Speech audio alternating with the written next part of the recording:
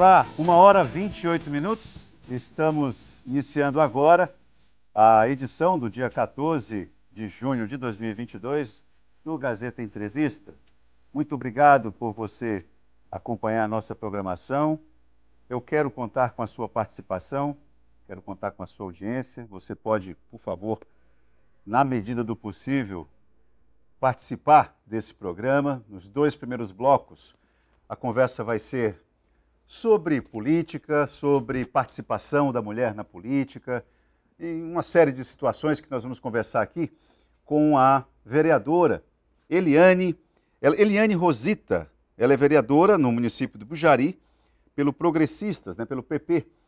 E já já a gente chama a vereadora, mas eu queria só antes disso é tratar de um, um assunto que me parece ser é, grave, importante e que nós não podemos é, deixar com que passe despercebido. Né? É, essa situação a, res, a respeito do, do, primeiro caso suspeito né, de varíola do macaco, pelo que eu li, na verdade não, não é um caso só. Né? Inclusive estava conversando com o chefe de jornalismo aqui da TV, ele me alertou sobre isso. E, e de fato, é, tem uma pessoa que está com suspeita de estar com a doença, que teve contato com uma outra. E é esta outra que veio do exterior, não é? Então, é, é uma situação que requer cuidado e requer informação. Em função disso, que eu peço à produção do, do programa, por gentileza, aperta o piloto aí, lá, lá, vamos ver o que, que o Jardel Angelim e o Sidney Torres, que foi que eles apuraram para trazer aqui para a gente. Isso foi exibido no Gazeta Alerta ainda há pouco. Se eles falarem é, Astério Moreira, não se aperrei não. Eu estou assumindo que o material saiu primeiro no Gazeta Alerta. Nós estamos reprisando em função do, do interesse público que esse assunto tem. Por gentileza, Lala, aperta o piloto. O estado do Acre tem o primeiro caso notificado da chamada varíola do macaco, que na verdade é o monkeypox um paciente que deu entrada em unidade privada aqui do estado com os sintomas da doença. A Secretaria de Estado de Saúde está investigando essa situação também junto com a Secretaria Municipal aqui em Rio Branco. Aqui ao meu lado está o Gabriel Mesquita, aqui da Cesacre, que vai falar mais sobre esse assunto. Como é que foi essa situação? Vocês receberam esse paciente, ele veio de fora, é aqui do Acre mesmo, estava viajando. Explica um pouquinho para a gente sobre esse assunto. Beleza. Ontem, no dia 13 de junho, é, deu entrada, como você falou, numa unidade privada, um paciente é, com todos os sintomas característicos da doença, né? A presença de fístulas pela pele, é, coceira, é, febre, inchaço nos gânglios linfonodos, né? É, tendo isso como base, começou-se a investigação por parte do município de Rio Branco. É, a gente vem acompanhando desde ontem, junto com eles, tá? É, assim como a gente fez com a Bolívia e Rondônia também, que a gente ainda está acompanhando essas duas situações. É, e aí a gente começa essa, esse processo de investigação.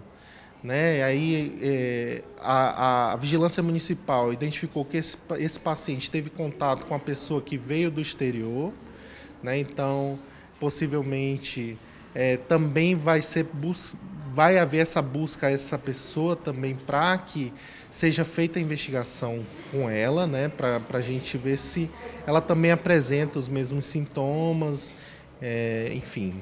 E como é que é essa questão, por exemplo, do cuidado com contágio, já que essa pessoa está com essa suspeita e tem também esse outro que veio do exterior. Como é que vocês estão fazendo em relação a esse assunto? É, a, ele foi orientado a ficar isolado em seu próprio domicílio. As pessoas que, que moram junto com ele, têm um contato mais próximo, também fiquem isoladas e observem sintomas. Se apresentar sintomas, é, eles devem notificar imediatamente a vigilância do município para que também procedam a coleta de exames e a gente tão logo tenha é, a confirmação ou descarte dos casos. Como é que é feita essa confirmação? É feita essa, é, no caso as amostras são colhidas aqui no município, também no estado, vocês enviam para outro estado, como é que funciona? Certo.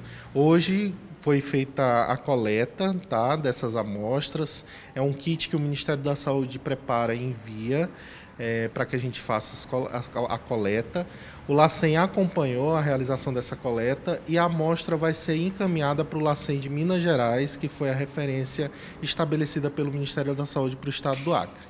O que, que o governo tem feito em relação a esse assunto também, até de barreiras, por exemplo? Qual é a orientação para a população? Porque eu imagino que muita gente deve ficar preocupada numa hora dessa também. Exatamente. A gente tem é, ali na região do Alto Acre, né, que é a nossa região onde tem a maior fronteira com Peru, Bolívia, é, o nosso CIEV de fronteira está trabalhando juntamente com a Anvisa, justamente nessas propostas né, de, de barreiras, de informação, né, porque a gente sabe que o nosso país ele não barra a entrada de ninguém, né? É todo um processo burocrático para isso, mas umas barreiras de informação, né? Verificando se as pessoas apresentam algum tipo de sintoma, de orientação mesmo para que as pessoas busquem um serviço de saúde e possam receber o tratamento adequado e a gente dar o encaminhamento necessário é, para confirmação ou descarte desses casos que possivelmente venham surgir. Queria que você explicasse para a gente como é que funciona a questão do contágio. As pessoas têm que ter algum cuidado específico? É, o contágio ele se dá por meio de secreções, né? Um contato muito próximo, toque na pele, né? Nas fístulas que surgem na pele.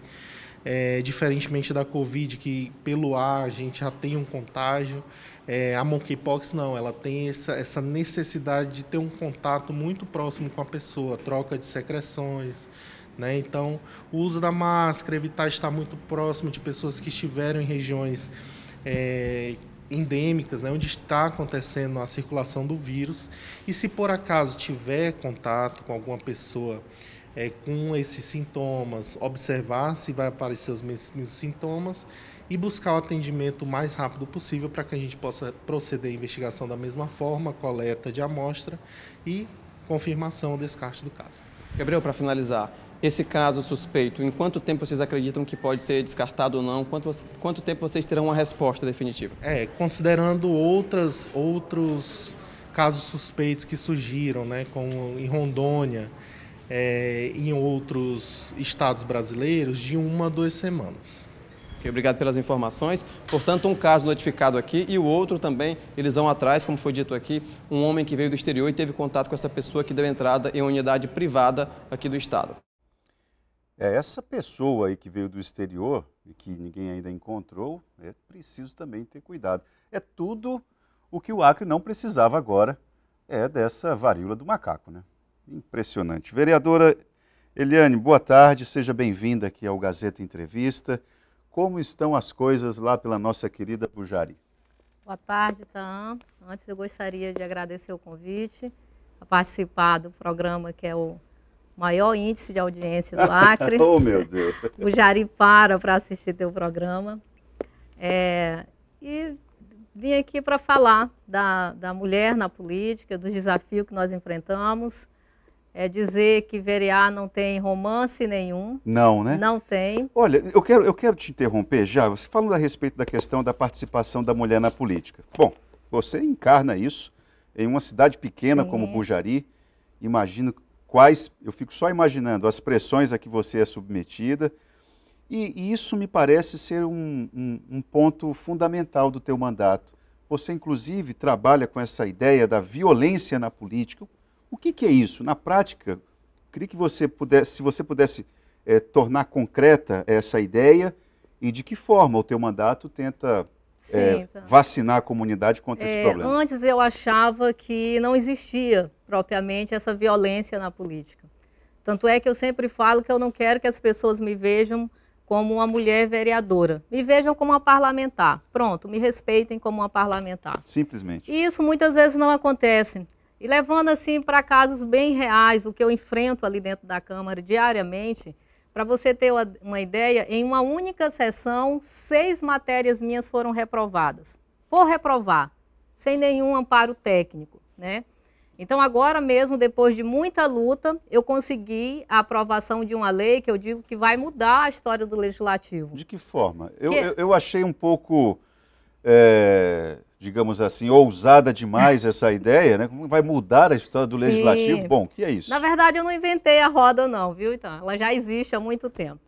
É, essas leis, a lei da emenda impositiva, ela obriga o prefeito a destinar 1% do orçamento da receita corrente líquida para o poder legislativo. Funciona da mesma forma da Câmara dos Deputados. Né? Eles têm as emendas individuais que destinam para as ações dentro do Estado. os vereadores também teriam essa oportunidade de receber as emendas é, e destinar para a comunidade. Né? 1% daquele dinheirinho que a prefeitura arrecada, paga as obrigações, Sim. aquilo que sobra, 1% desse recurso que sobra iriam para as emendas para os parlamentares. Exatamente. Aqui no Acre, por exemplo, já tem alguns municípios. É, eu pego, por exemplo, Porto Acre. Porto Acre já está já tem muito tempo que trabalha com as emendas impositivas e tem dado muito certo. Ajuda muito o prefeito, porque distribui as funções. E depois, quando eu, voltando à questão da violência, depois de muito lutar para a aprovação dessa lei, dessa emenda impositiva, é, eu estou agora lutando para a promulgação, né? Então, assim, é, eu luto o tempo inteiro. Lutei para aprovação, é, fizemos toda uma, uma, uma conversa com os vereadores, eles entenderam que tinha que era de benefício dos vereadores. Mesmo assim, agora já tam, estamos com 30 dias que foi aprovado pela plenária e ainda não foi promulgada para ser realmente efetivada e o prefeito passar a cumprir. Mas você acredita isso a uma questão de gênero? Não, não exatamente, não exatamente.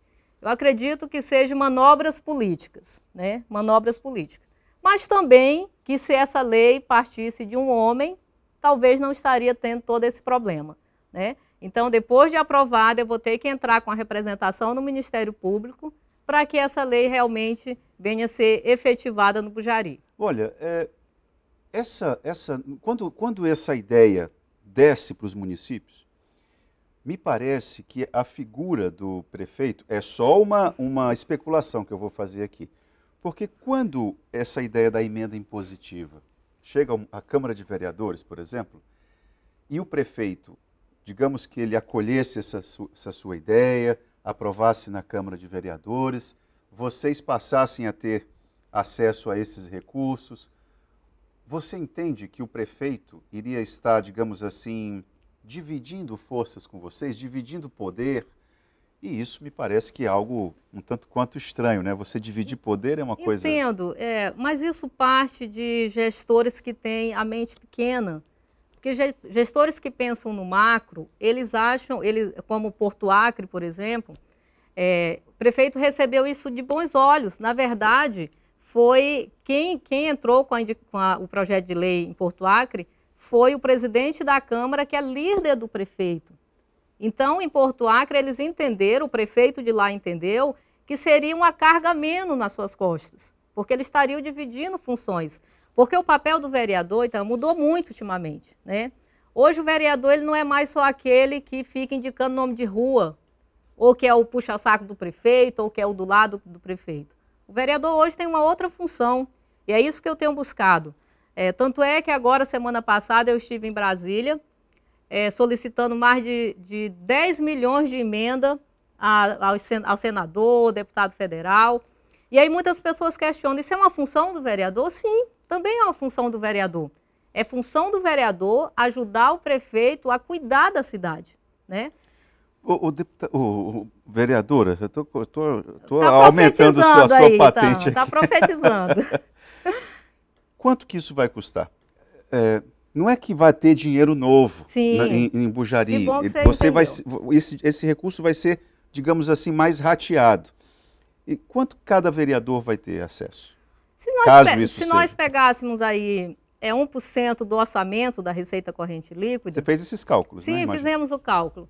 Daria em torno aí de, de 250 mil. a 300 mil para o Poder Legislativo. Isso dividido para nove, né, ficaria é, pouco, mas já é muita coisa para quem não tem nada. Né? Então, é importante você colocar isso, que esse orçamento não vai tirar de nenhum um, um outro... Sim, não é dinheiro não, a mais Não é dinheiro gastar. a mais, não, não. É só uma distribuição, né? É só uma distribuição. E, e, e, o prefeito, eu queria entender, você como prefeita, vamos imaginar, eu chamei você de deputada ainda há pouco, mas imagine você como prefeita. Eu, eu acolheria de muito bom, bom grato essa, esse projeto. Por quê? Porque é, nove pessoas trabalhando, nove pessoas que são os nove vereadores, eles conseguem ver muito mais que um prefeito, né? É, a, a, a, comunidade ela é muito bem mais assistida se nove pessoas efetivamente trabalhar por ela. Mas elas, eles, esses nove já não estão trabalhando? Precisa... Não, não exatamente, porque uma indicação de um vereador da base, ele é atendido. A indicação de um vereador que trabalha, é, vamos dizer assim, individualmente, como eu trabalho, ou melhor, com a comunidade, talvez não seja atendido como as minhas não são.